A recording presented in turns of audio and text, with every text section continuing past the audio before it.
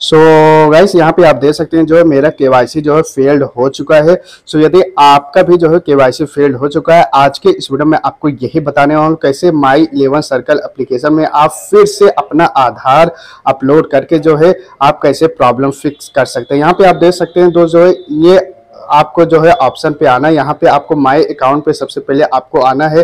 देखिए, ये सारे जो सेटिंग है, आपको तभी देखने को मिलेगा जब आप जो है इसका फैंटेसी का जो है एक एप्लीकेशन डाउनलोड करेंगे, तभी आपको देखने को मिलेगा। जी हाँ यहाँ पे आपको बता दो, जैसे आप गूगल प्ले स्टोर ओपन करेंगे I want to reupload Aadhaar card. यदि आप फिर से आप अपना आधार कार्ड जो है अपलोड करना चाहते हैं तो यहाँ पे सबसे पहले जो है आपको एक एप्लीकेशन डाउनलोड करना पड़ेगा, जो कि Dream Eleven sorry My Circle Eleven का है।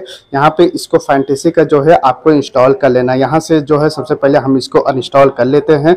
इंस्टॉल करने के बाद जो है दोस्त, आपको इसको होम कर देना है। एंड फिर से हम लोग जो है अप्लीकेशन पे आते हैं। यहाँ पे जो है अप्लीकेशन को हम लोग जो है फिर से यहाँ पे ओपन करते हैं और उसी सेक्शन पे जाते हैं दोस्त जो है, जहाँ से हम लोगों का जो है यह प्रॉब्लम आ रहा था। यानी कि जो है हम लोग अपना आधार फिर से जो अपलोड करना चाहते हैं, वो वो सेटिंग तभी आएगा जब आप फैंटेसी एप्लीकेशन जो है इंस्टॉल कर लेंगे तो।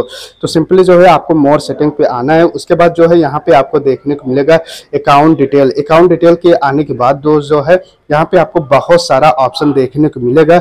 अब यहाँ पे जो है आपको एक चीज़ यह ध्यान में रखना है अदर डिटेल के ऊपर आपको क्लिक करना है। यहाँ पे जैसे आप अदर डिटेल के ऊपर क्लिक करेंगे क्लिक हेयर के ऊपर क्लिक करेंगे, यहाँ पे के इज़ पेंडिंग के ऊपर लिखा हुआ है। इसके ऊपर क्लिक करने के बाद दोस्त जो है यहाँ पे आधार का वेरिफिकेशन आ जाएगा।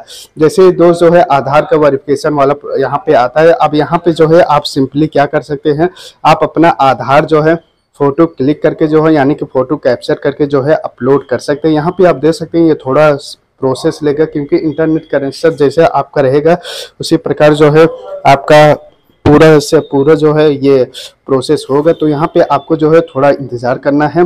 उसके बाद जो है, जैसे आप ये सारा प्रोसेस करेंगे, दो जो यहाँ पे मैं आपको करके दिखा देता हूँ फिर से जो है। ये थोड़ा टाइम ले रहा है।